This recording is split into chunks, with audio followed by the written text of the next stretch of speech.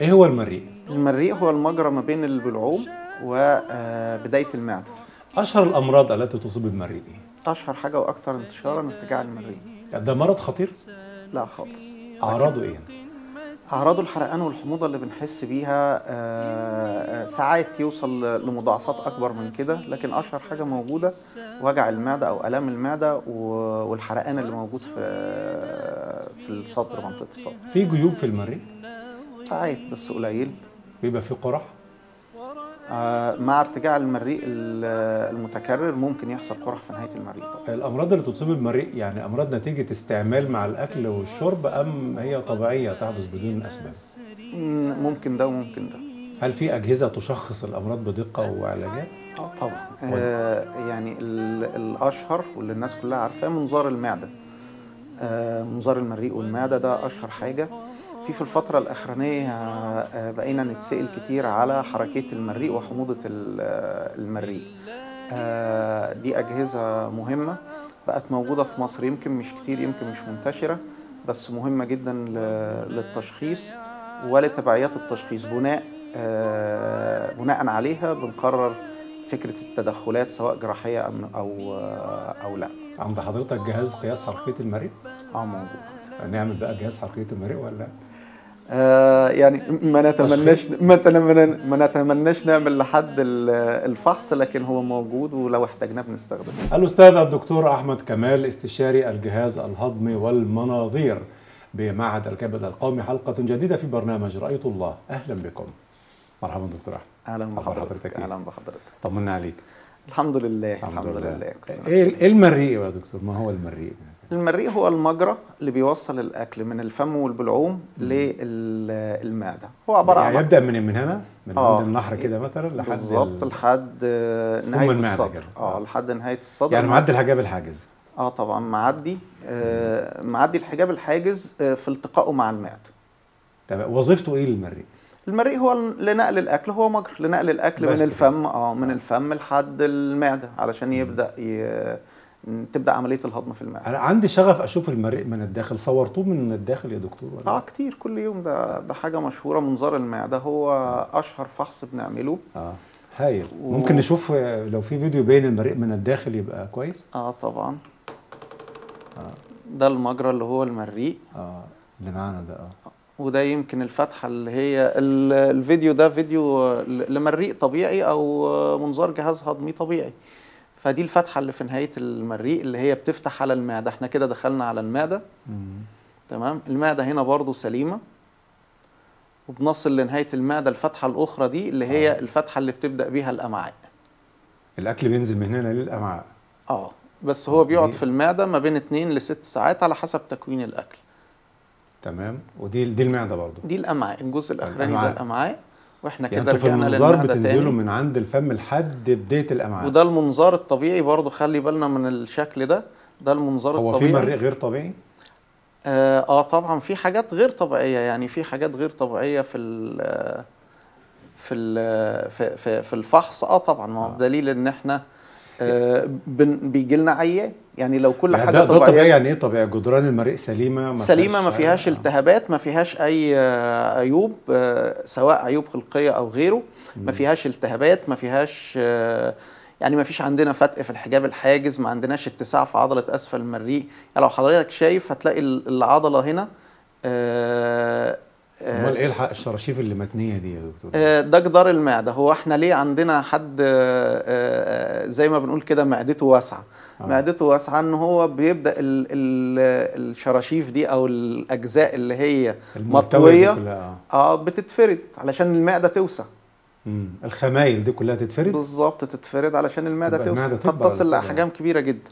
الجزء ده يعني الجدار نفسه ما بيمتط لا لا, آه. لا ما بيتمطش هي نفسها خمايل كده تتفرد. بتتفرد و... وتتسع.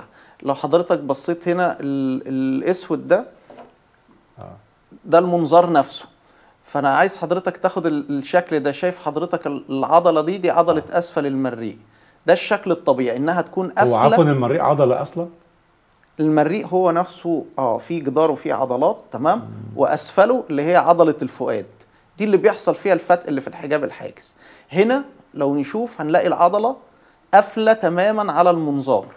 تمام؟ آه. لما هاجي أوري لحضرتك بعد كده الفيديوهات اللي فيها الفتق اللي في الحجاب الحاجز هتشوف الفرق ما بين ال- الشكل ده والشكل الآخر. مم. اللي هو-. نشوف.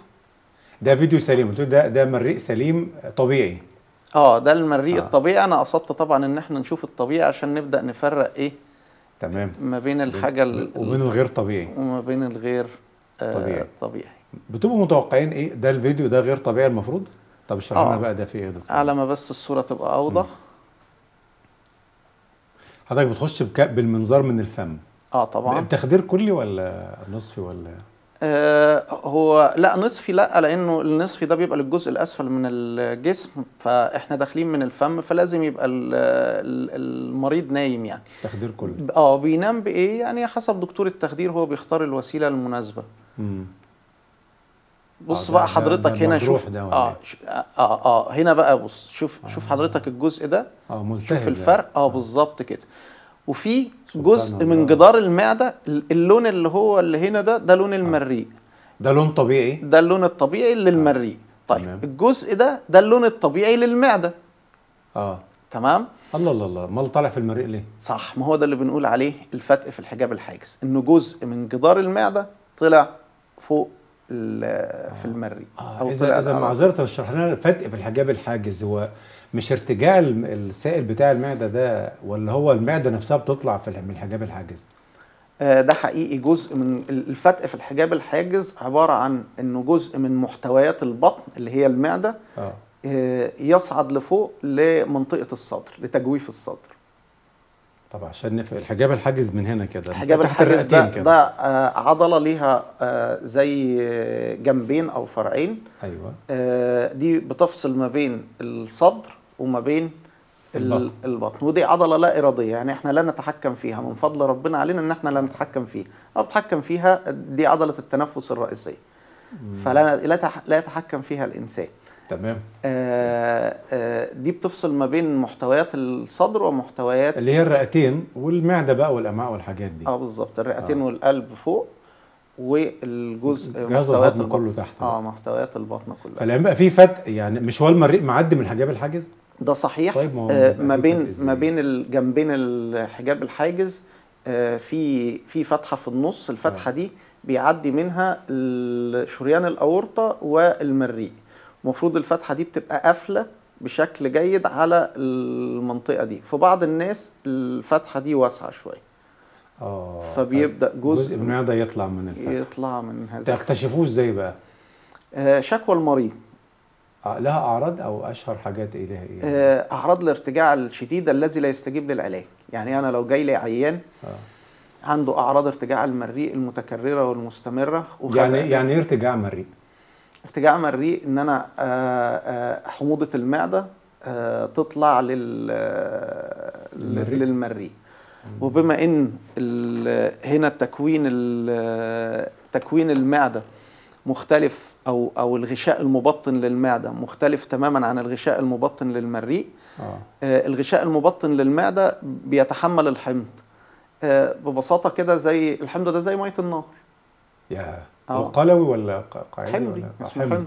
حمض. آه. شديد يعني. آه ده اللي الإنسان ممكن يشعر بيه لما يرتجع تمام بالظبط. كده. فربنا خالق يعني من عظمة الخلق إنه المسافة ما بينهم صغيرة جدا لكن ربنا خالق إنه تكوين ال- المعدة. هنا هنا برضه لو حضرتك بتشوف الفيديو هتلاقي في بعض ال بعض ال بعض الحاجات اللي نحب نوريها برضو بال- بالمرة إحنا بنعمل يا ريت. المنظار آه. يعني غير الفتق ده آه، في المعدة هنلاقي هنا آه، التهابات في جدار المعدة وقرح مم. سطحية في جدار المعدة آه ده مش طبيعي برضو وضع مش آه طبيعي يعني. آه آه ده وضع مش طبيعي مم. بس شكوى بتتكرر كتير وبنشوفها طبعا ده القرح دي نتيجة الأكل بقى يا دكتور ولا سوء التغذية ولا سوء الأكل ولا هي طبيعية بتحصل في الالتهابات في الجدار ده آه، أكلات معينة مثلا نحذر منها المشاهدين الكرام؟ هو طبعا الأكل بصورة عامة خلينا نتكلم على إنه فكرة الإفراط في في الأكل وخصوصا الحاجات اللي موجودة دلوقتي اللي هي بنقول عليها ال- الجانك فود أو ال- الأكل الوجبات ال- السريعة. الأكل الوجبات السريعة بقت آه، تسبب مشاكل كتير وكتير من ولادنا. آه، يمكن في الفترة الأخرانية بقينا نشوف إنه كتير من الشباب الصغير بيشتكي يمكن أكتر من من الناس ال- ال- الكبيره. آه، نتيجة صحيح. إنه فعلا ال- ال- ال fast food والزيوت اللي معمول بيها والزيوت اللي معمول آه، بيها الشديد. والحاجات دي بت بتسبب لنا ال- ال- المشاكل فعلا خصوصا ده أكل معمول بزيت عربيات أو زيت مواتير بقى زيت باكم ولا آه، والله وارد فعلا بس أصبحت قرح المعدة والحاجات دي ما كتير دلوقتي يا دكتور صح؟ تشوفوها في العيادة كتير عندكم؟ آه أنا أنا بحاول أثبت الصورة على منطقة من المناطق يكون فيها الأمر واضح آه بنشوفها كتير طبعا. آه والشكوى متكررة بشكل كبير وفي كل الأعمار آه ال- الجزء بقى اللي بنقول عليه إنه جدار المعدة مبطن بشيء آه أو بخلايا معينة تتحمل هذا الحمل آه وبينما جدار المريء لا جدار المريء عامل زي الجلد. فلو حطيت مية النار على الجلد هتكويه. طبعا. إنما لو حطيت مية النار دي في المعدة ما تكويهاش. عشان كده الإنسان يحس بال بشيء غريب في في في المريء فعلا. ده ده ارتجاع حقيقي. مر... أي أيوه دي. لا ده لسه ده دي جزء اللي أنا داخل فيه لل للإثنى عشر اللي هي بدايه آه. آه. الأمعاء. ودي برضو بتكوين مختلف. لو حضرتك شايف الأجزاء الحمراء دي أيوه. دي كلها التهابات. يا الله ده تمام. ده آه يعني لو حضرتك شايف هنا كده هنبدأ بقى نقلب المنظار ونشوف علشان أوريكم الفرق ما بين الجزء ده والجزء اللي فات. آه أنت بتقلبه من تحت لفوق بقى آه تشوف شايف حضرتك هنا آه. الجزء ده واسع قد إيه؟ المرة. اللي فاتت آه. كان المنظار ده مقفول آه، عليه. صحيح لحد الحد الخطه البيضاء اللي جوه دي. بالظبط. شايف حضرتك المسافة دي؟ يا الله كبير. آه. لا ده فتق بالنسبة لنا فتق مش كبير في الحجم. ده مثلا لا. اللي هو من الدرجة الثانية اللي هو آه، آه، آه، حاجة يمكن ما هياش حجمها كبير أنا ممكن أوري لحضرتك بعد كده يمكن حاجة أكبر منه كمان بس الجزء ده آه، آه، مفروض إن أنا لما أشوف في المنظار دي حاجة يمكن ال- المريض يفهمها بقى من من الشكل اللي فات للشكل ده آه. إنه المنظار هنا لا حواليه شايف العضلة اللي. حواليه دي آه. واسعة صحيح تمام. وبالتالي يقدر يطلع الجزء من جدار المعدة ده بيطلع لفوق للمريء ونشوفه إحنا فوق ويشوف ال- اللي هو اللون المختلف اللي شفناه في أول الفيديو ده المختلف اللي في الفيديو الأولاني. ده ارتجاع ال- المريء. في الحالات دي بتعملوا إزاي بقى؟ بتخيطوا الفتق ده ولا بترجعوا المعدة ولا بتعملوا إيه؟ اللي هو آه. علاج تحفظي ولا علاج جراحي؟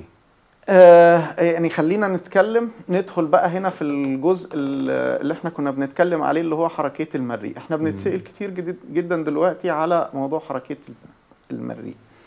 يعني إيه حركية المريء؟ المريء ده عضلة وبالتالي آه، آه، محتاجة انه يقاس فيها الضغط. هو آه، المريء له ضغط؟ آه، انقباض زي أي عضلة. يعني يعني- أنا لو قفلت كده طب ما ده انقباض. أنا آه. أنا قافل أقدر أقيس ضغط؟ أقدر أقيس ضغط. أوكي. تمام. تمام. هو عضلة بس يعني هو المريء بيمشي الأكل بالانقباض والانبساط آه طبعا. آه تمام. أنا. بحسبه عشان هو عمودي فالأكل بينزل بيتزحلق يعني بس من غير حاجة. جزء من الموضوع طبعا. مم. بدليل إنه في ناس فاقدة حركية المريء ولسه بتاكل. معقول؟ ده حقيقي. حد يفقد حركية المريء ويعيش أصلا؟ آه تمام. العضلة كده بتشتغلش ولا؟ صحيح. أو ضعيفة. آه. وده مرض. آه. طب العيان. بيجي يشتكي من إيه؟ أيوه. أنا ما ببلعش كويس. ما بيبلعش؟ كويس. الأكل عنده مشكلة في البلع؟ آه الأكل بيقف في صدري. الأكل بيقف في زوري. الأكل بيرجع. آه. تمام.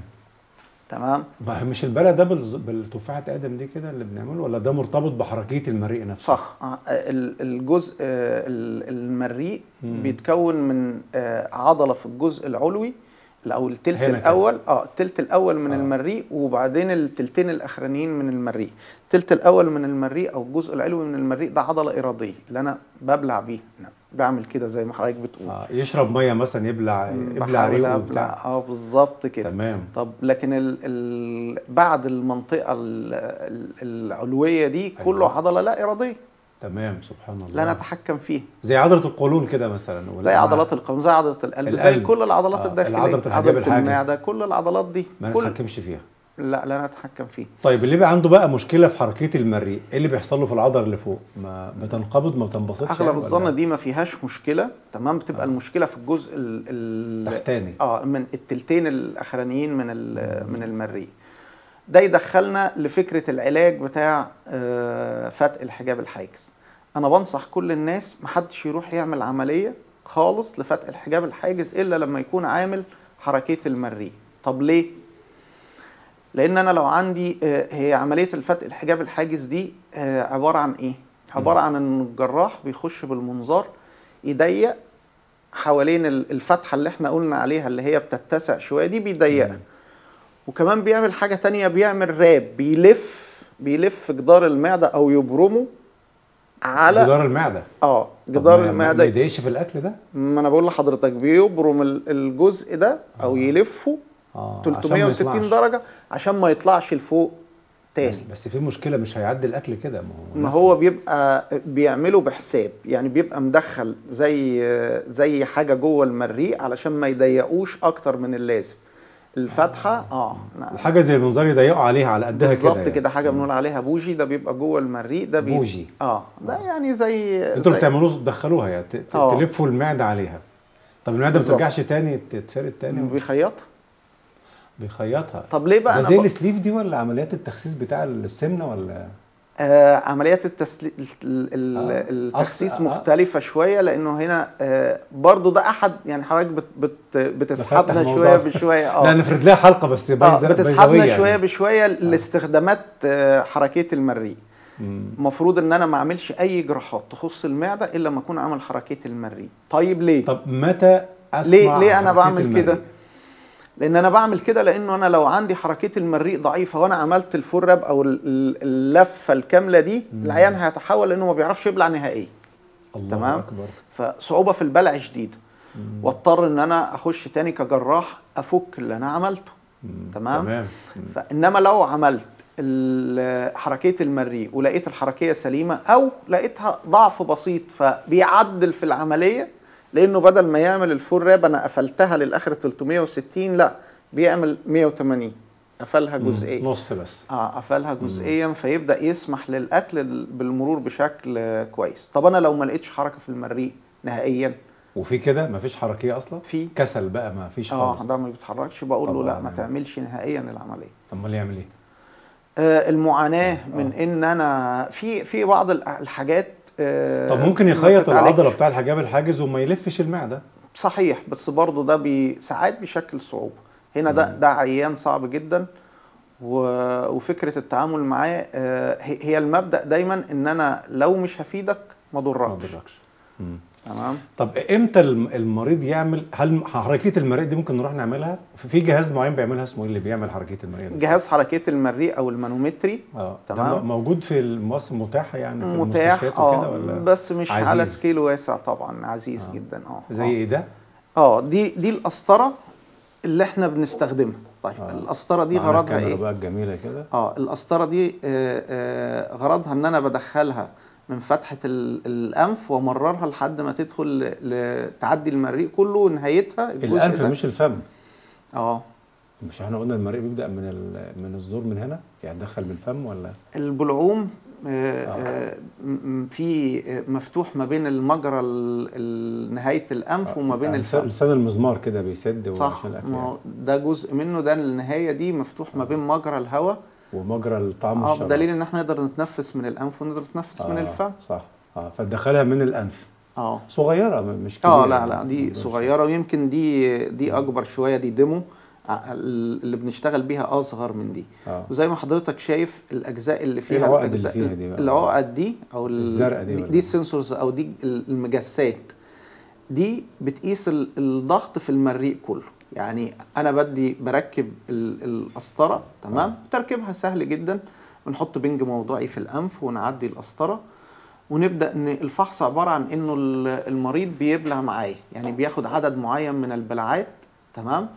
وأنا مم. ببدأ أقيس الضغط. بقيس الضغط فين؟ بقيس الضغط في عضلة أعلى المريء بقيس الضغط في- في ال- في المريء كله كجسم المريء نفسه مم. وفي عضلة نهاية المريء تمام؟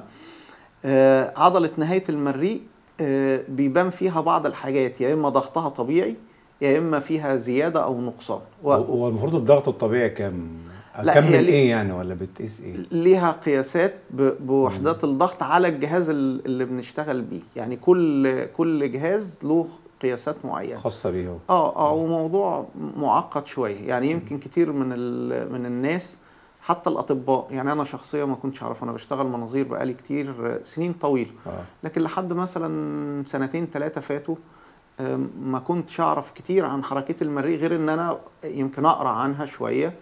آه، أشوف ال ال الحاجات اللي مكتوبة عليها لكن آه، ما كنتش أعرف التفاصيل بتاعه قراية ال- الفحص. نفسه إنه الفحص آه، قراية معقدة على جهاز له سوفت وير معين ال software ده بيبدأ يعمل analysis أو تحليل لل data اللي إحنا دخلناها من خلال القسطره دي التحليل ده ال sensors اللي موجودة دي ال sensors. دي بت... آه بتنزل بدي لحد إيه بقى؟ فم المعدة ولا لحد لحد؟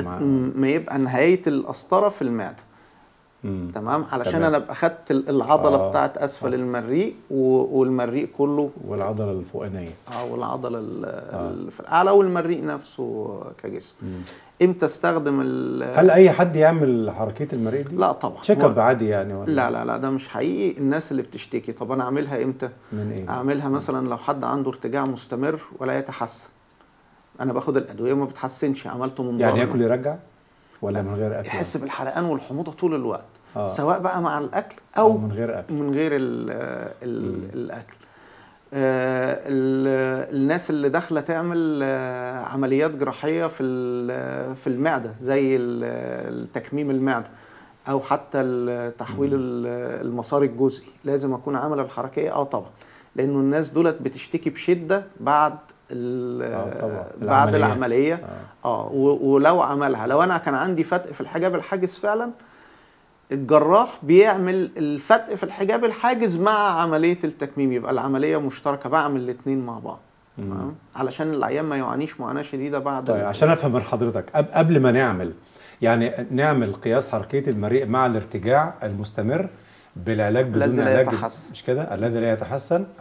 اتنين لو هعمل لو إنسان هيعمل فتق في الحجاب الحاجز أي عمليات عملية- جراحية في المعدة تمام؟ آه، آه، من شأنها إنها تقلل حجم المعدة أو أعمل حاجة في في ال- في العضلة بتاعت أسفل المريء لازم أكون. عامل ال- الفحص قبلها. تمام.